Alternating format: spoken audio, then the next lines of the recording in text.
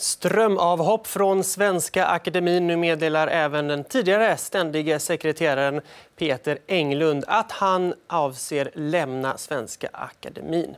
Det här är uppgifter till Aftonbladet som kom alldeles nyss. och Det är alltså det tredje avhoppet idag som har kommit.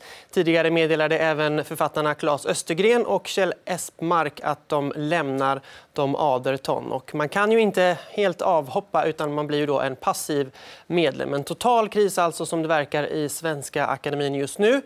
Och enligt många uppgifter som ännu inte har bekräftats av akademin själva så handlar det mycket om metoo-rörelsen och den så kallade kulturprofilen som har kopplingar till eh, den här till Svenska Akademin, till en av medlemmarna där. Och det är oklart ännu exakt vad det är som har hänt men enligt uppgifter också till Aftonbladet så handlar det om att eh, man skulle ha haft en typ av omröstning om den här medlemmens fortsatta arbete inom akademin och att eh, de här deltagarna nu, eller de här, medlem, eh, de här tre stycken ska ha lämnat i protest. Men detta är alltså ännu inte bekräftat från eh, Sara Danius, den nuvarande ständiga sekreteraren som befinner sig på en utlandsresa.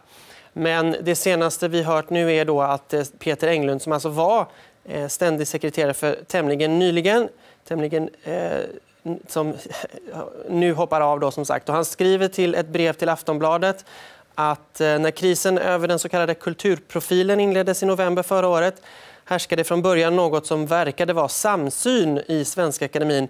Men med tiden har dock en växande spricka uppenbarat sig, skriver han alltså till Aftonbladet. Och eh, det är då den här sprickan som ska ha varit eh, eh upprinnelsen till de här ehm, avhoppen och att eh, det är allt för, ett alltför vagt, allt för svagt uttalande från Svenska Akademin angående den här kulturprofilen som skulle ha varit eh, anledningen till att dessa eh, medlemmar nu hoppar